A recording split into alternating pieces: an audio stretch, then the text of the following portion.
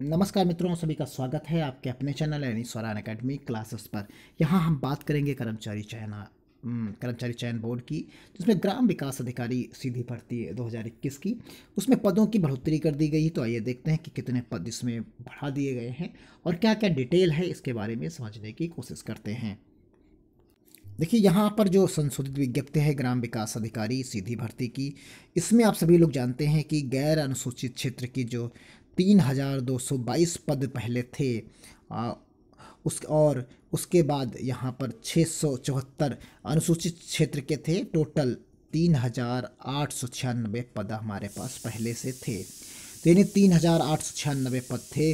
उसके बाद क्या किया गया इन्होंने? इस बत्तीस सौ से जो है बढ़ाकर पैंतालीस सौ सत्तावन पद कर दिए। और जब बढ़ाकर पैंतालीस सत्तावन पद कर दिए और इस वाले जो छः सौ चौहत्तर से बढ़ाकर पदों की संख्या कर दी।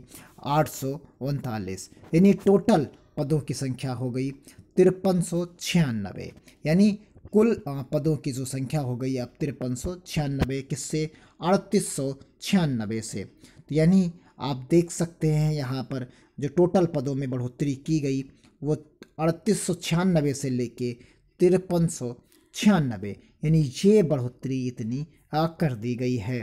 तो पदों का जो ब्यौरा है, वो आपने देख लिया कि कितने पद टोटल बढ़ गए और कितनी चीज़ें चेंजेस हो गई। तो यानी ये आप पदों की संख्या बढ़कर आप पाँच हज़ार तीन सौ छियानबे, यहाँ पर करीब पंद्रह सौ पद आपके यहाँ पर बढ़ गए हैं। तो उम्मीद करते हैं, यानी पंद्रह सौ पदों की यहाँ पर करीब बढ़ोतरी हो गई है। तो उम्मीद करते हैं, आपको ये वीडियो अच्छा लगा होगा। शेयर करिए लाइक करिए। धन्यवाद। जय हिंद, जय